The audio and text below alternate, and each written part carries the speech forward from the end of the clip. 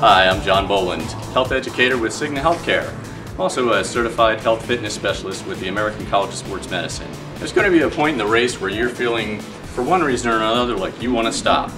It's important at that point to ask yourself, what's my motivation for running this race? And it's a good idea to plan for that in advance. Try to find that inspiration inside you, what's going to help push you forward, what's going to get you to that finish line. Is it that you want to get to the end of the race and beat your best time? Is it that you want to get to that reward you promised yourself of a new set of running shoes? Is it that you found a loved one that is suffering with a disease that's going to benefit from this race and you know they're pushing through their disease and you can push through this race? It might be a good idea to change your pace. You may have to accept the fact that you're not going to set your best time or you may just have to walk for part of the race until you feel comfortable again, start running. So good luck with the race and stay fit.